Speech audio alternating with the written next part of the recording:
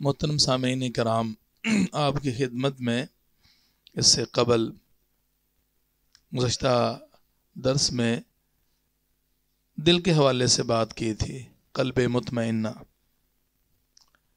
कल्ब सलीम। और इसी तरह एक वो दिल की किस्म है जिसको आप नफ्स लवामा कह सकते हैं या नफ्स अम्मारा है। ये तीनों अकसाम के जो दिल हैं या नफूस हैं, इनका अलग अलग अपना अपना किरदार और तरीक़ेकार है। तो अम्मारा तो वो नफ्स है जिस पर बहुत ज़्यादा शैतान हावी रहता है। मासीत गुना नाफरमानी की तरफ़ उसको उकसाता रहता है, उभारता रहता है। तो जिस दर्जा इंसान रब ताला से, सुन्नत से, कुरान से, ज़िक्र से, तिलावत से दूर रहता है और बेदीनी की ज़िंदगी गुजारता है तो वो नफ्स जो होता है ना, फिर उसको हमेशा मासीत का हुक्म देता है मासीत की तरफ़ लगाता है।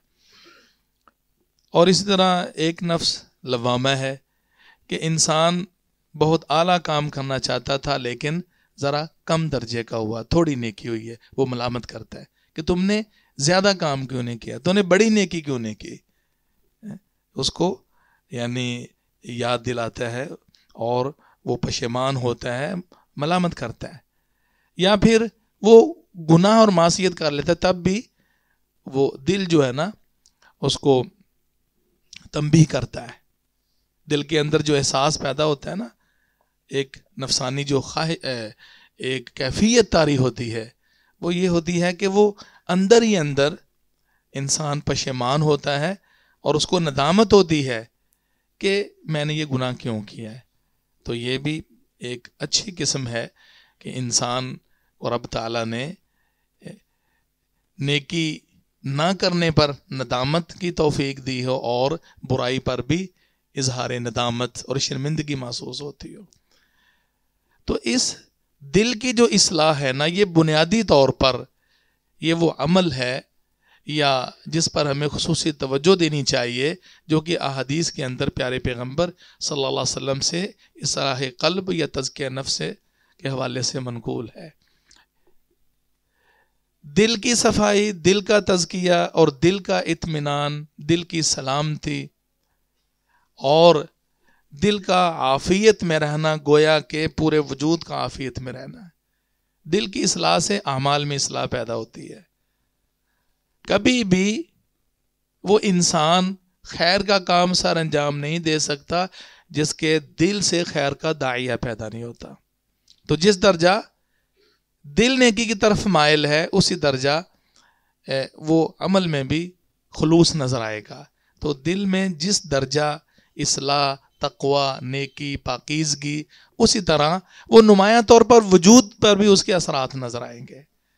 और नबी मुकरम सल्लल्लाहु अलैहि वसल्लम की जो हदीस आपके सामने पड़ी है, यह हलाल हराम के मुतलक है, मारूफ हदीस है। सैद नुमान बिन बशीर रदी अल्लाह फरमाते हैं, हलाल भी वाज हराम भी वाज है, और हलाल हराम के दरमियान कुछ मामला मुश्तबे हैं, शुबे वाले हैं।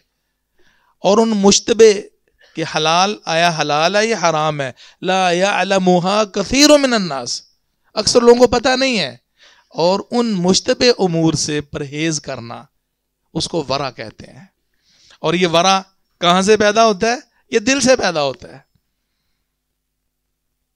अगर दिल के अंदर वरा नहीं है तो फिर हलाल हराम की कोई तमीज नहीं रहती। तो बदनीयती,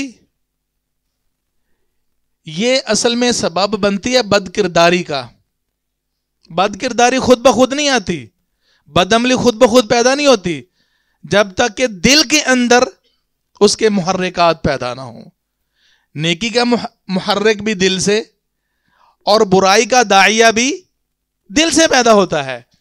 इसलिए रसूल अकरम सल्लल्लाहु अलैहि वसल्लम हमेशा दुआ फरमाते थे अल्लाह ताहिर कल्बी मिनन निफाक व आमली मिनर रिया। अल्लाह, मेरे दिल को निफाक से पाक कर दे। मेरे दिल की तथहीर फरमा दे। वो आमली मिनर रिया, और मेरे आमाल को रियाकारी से बचा दे।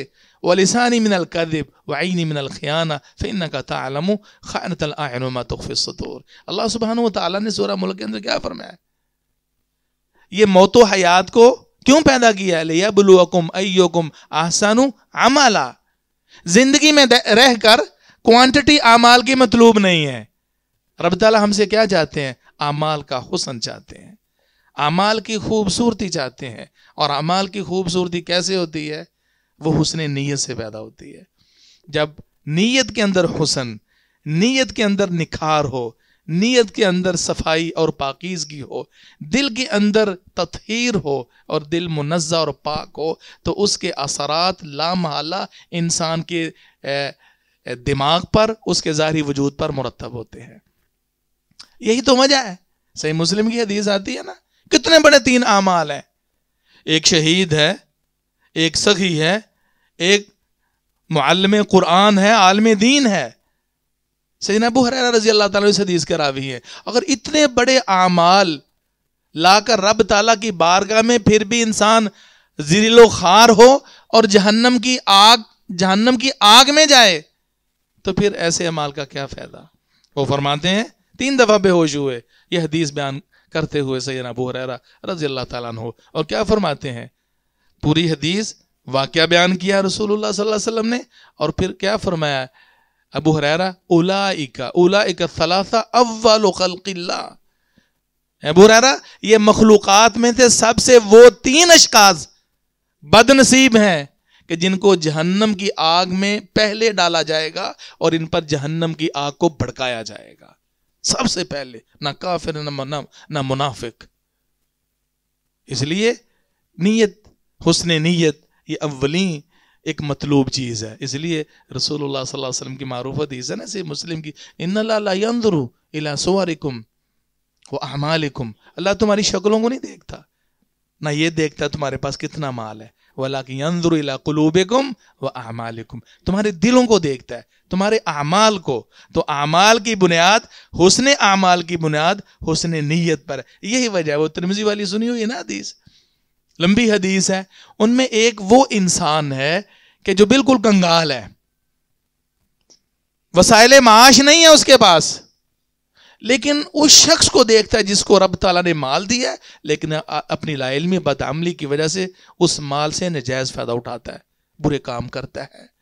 तो ये कंगाल, गरीब, नातवा, उसको देख देख के ये नीयत करता है, सोचता रहता है, काश मेरे साथ, मेरे पास भी इतना माल हो, मैं भी ये करूँ, वो करूँ, ये करूँ। बहुत कोई सोचता है। तो रसूलुल्लाह सल्लल्लाहु अलैहि वसल्लम क्या फरमाते हैं? ये दोनों, वो अमलन करने वाला और जिसके पास कुछ भी नहीं है, अपनी नीयत की वजह से, इस नीयत बद की वजह से, फाहमा फिल विजर सवा, दोनों गुनाह में बराबर के शरीक हैं। और ये हुसन नीयत खलूस नीयत का ये नतीजा और रसूल ने रिज़ल्ट बताया है कि साहब इलम तो है लेकिन माल नहीं है। लेकिन उस शख्स को देखता है जिसको अल्लाह ने सालहियत भी दी है, इलम भी, माल भी दिया है तो वो उसको देख देख के कहता है अल्लाह, जैसे ये कहीं मदरसा बनवा रहा है, मस्जिद बना रहा है, फ़ुकरा में तकसीम कर रहा है, अकरबा में तकसीम कर रहा है, इतने खैर के काम? अल्लाह मुझे भी ये हैसियत अता फरमा।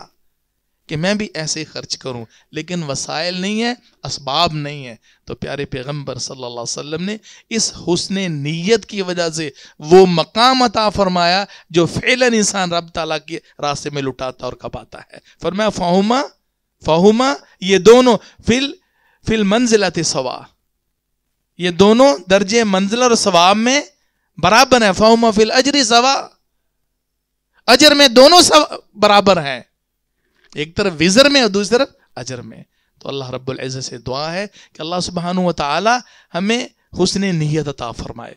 तो जिस दर्जा इंसान की नीयत में खलूस है तो खलूस नीयत की वजह से इंसान बैठे बैठे बैठे बैठे वो सवाब और अजर हासिल कर लेता है, जो कि बदनीति की वजह से मासीतों में गिरफ़्तार इंसान वो नहीं रब ताला के यहाँ सुरखरू हो सकता, बल्कि उल्टा वो रब के यहाँ इंतहाई नापसंदीदा ठहरता है अल्लाह मुझे और आपको तो अमल की तोफ़ी नसीब फरमाए और अपनी नीयत का तजकिया और अपने दिल को साफ़ करने की तोफ़ी अता फरमाए। सुबहान रबिक रबिल्ज़त मैं सिफ़ोन वसलाम रबीआलमीन